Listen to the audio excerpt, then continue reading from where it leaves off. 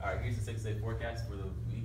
We got sixty percent on Sunday with the high of eighty-nine and low of sixty-nine. On Monday, we have a seventy percent chance with the high of eighty-seven and a low of seventy.